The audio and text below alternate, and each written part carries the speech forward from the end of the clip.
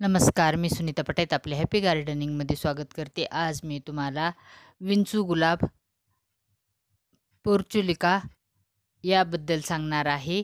याला विंचू गुलाब चिनी गुलाब असे म्हणतात आणि ह्याचे फ्लावर एक दिवसाचेच राहते.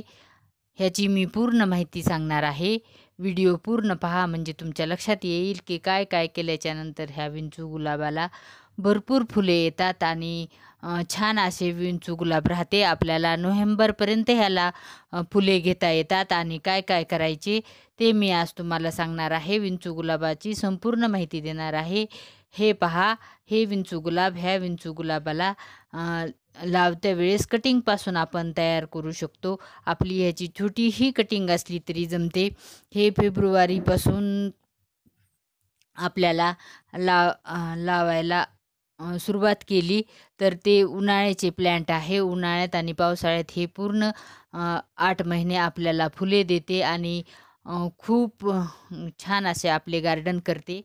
ह्याची माती वेल करावी लागते. वेल माती केली तर ह्याचे प्लॅन्ट चांगले येते वेल माती म्हणजे एक हिस्सा वाळू एक हिस्सा कंपोस्ट आणि एक हिस्सा गार्डन सॉईल असे घेऊन ह्याची वेल माती करा. वेल कुंडी करा. कुंडीला छिद्र पाडा. कुंडीत कसलेही पाणी राहिले नाही पाहिजे.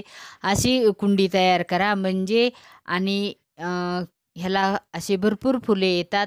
आणि नंतर म उन्हाचे म्हटले तर ह्याला ऊन दिवसभराचे ऊन लागले तरी चालते कारण ह्याला खूप ऊन लागते ऊन लागते आणि पाणी कमी लागते. त्यामुळे ह्या झाडाला उन्हाळ्यात असे भरपूर फुले येतात.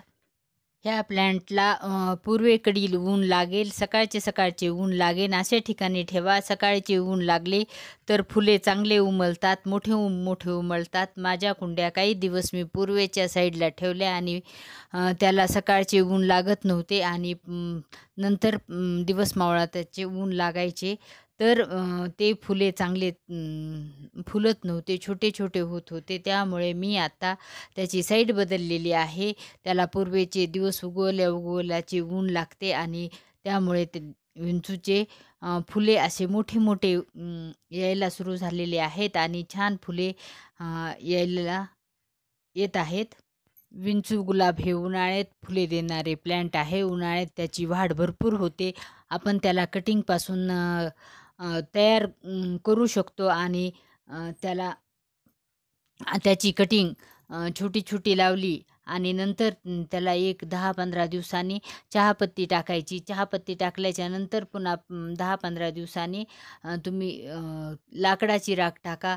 लाकडाची राख टाकल्याच्या नंतर असे त्याला तीस दिवसाच्या आत त्याला फु छान फ्लावर येतात आणि ते विंचू गुलाब असे छान छान फुले देतात.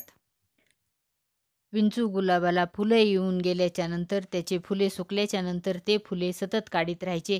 कारण ते जर फुले आपण काढले नाहीत तर ते तसेच आपल्या कुंडीत पडतात आणि विंचू गुलाबाला फंगस लागण्याची शक्यता असते आपले झाड खराब होण्याची शक्यता असते. त्यामुळे त्याचे फुले आपण सतत काढीत राहायचे. कारण कालचे परवाचे असे दोन तीन दिवसाला एक वेळेस जरी आपण हे फुले असे सतत काढीत राहिले तर आपले विंचू गुलाब खराब होत नाहीत आणि त्याला फंगसचाही अटॅक होत नाही. आणि आपण पावसाळ्यात ह्या विंचू गुलाबाची कशी केअर करायची ते मी पुढं तुम्हाला सांगणार आहे. व्हिडिओ पूर्ण पहा लक्ष देऊन पहा. विंचू गुलाबाची कुंडी वेल ड्रेन केल्यामुळे पावसात जरी विंचू गुलाब असले तरी त्याचे पाणी सतत गळून जाते आणि थोडेही ऊन पडले तर ते कोरडे होते. त्यामुळे पावसाळ्यात असे विंचू गुलाब होण्यासाठी आपल्याला कुंड्या उन्हात ठेवा आणि जर आपल्या विंचू गुलाबाला पावसाळ्यात हे पूर्ण कळ्या काढून त्याला लाकडाची राख द्या. लाकडाची राख ही फंगीसाईडचे काम करते त्यामुळे आपल्या विंचू गुलाबाला लाकडाची राख दिली तर फंगस लागणार नाही आणि पावसाळ्यात आपले विंचू गुलाब चांगले राहतील. त्यामुळे आपल्याला पावसाळ्यात हे लाकडाची राख देणे आवश्यक असते आणि ती ला लाकडाची राख पावसाळ्यातून दोन तीन वेळेस द्यायची. म्हणजे महिन्याला एक वेळेस दिली तरी चालते. आणि ही राख द्यायच्या आधी आपण आपल्या मॉस रोजला तीन ते चार दिवस आधी चहापत्ती वाळून देऊ शकतात किंवा चहा झाल्याच्यानंतर स्वच्छ ती धुवून तशीच देऊ शकतात. कोणत्याही प्रकारे तुम्ही दिली तरी चालते पण चहापत्ती सतत देत राहा. ज्यावेळेस तुम्हाला लाकडाची राख दे द्यायची आहे त्याच्या तीन ते चार दिवस आधी चहापत्ती द्यायची आणि नंतर आपल्याला ही मी विंचू गुलाबाची अशी डिझाईन केलेली होती. अशा एक पॉट तयार केलेला आहे. तो पहा आता. तो पण मी व्हिडिओ शेअर केलेला आहे. पण आत्ता बघा त्याला कशी अशी फूट आलेली आहे आणि ते फुटलेले आहे लागलेले आहे माझे विंचूचे हे प्लॅन्ट पंधरा ते तीन आठवडे झाले असतील की हे हा मी व्हिडिओ टाकलेला होता आणि हे पहा हे कसे छान उगवलेले आहे पण आपल्याला आता हे फांद्यात फांद्या ठेवायच्या नाहीत त्याच्या कारण तो आपण शो केलेला दिसणार नाही. त्यामुळे आता खालचे फांद्या मी कट करून घेलेले आहे आणि फुले येऊन जे राहिलेला समोरचा भाग आहे तो पण कट करून घ्यायचा. त्याला आकार पण देणार आहे पण आता भरपूर कळ्या आहेत. त्यामुळे मी आकार देत नाही कारण आकार थोड्या दिवसांनी देईल. त्याच्या कळ्या झाल्याच्यानंतर हे पहा.